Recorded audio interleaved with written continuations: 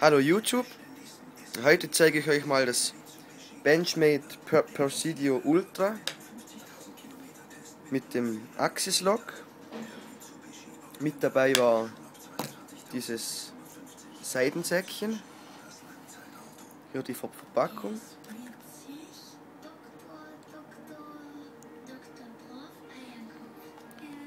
Das Messer wiegt ca. 200 Gramm ist mit einem Stift versehen. Also ist es ein Einhandmesser. Die Klinge ist 2 mm dick und geht vorne also ziemlich fast auf Null zusammen. Sie ist hier verdünnt und dadurch relativ scharf.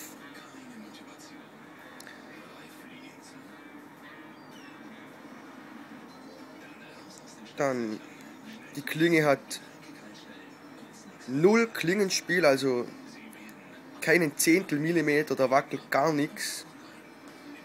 Wegen diesem Axis Lock System. Das ist ein sehr gutes System. Der Gürtelclip ist auf die andere Seite umsetzbar. Das Griffmaterial besteht aus G G10, ist sehr hart und sehr grifffest. Das Messer liegt sehr gut in der Hand.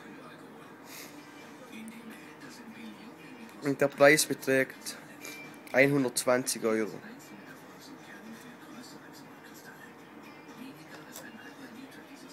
Ja, ich kann das Messer nur weiterempfehlen. Und ich würde es wieder kaufen. Bitte bewerten und kommentieren. Bis zum nächsten Mal.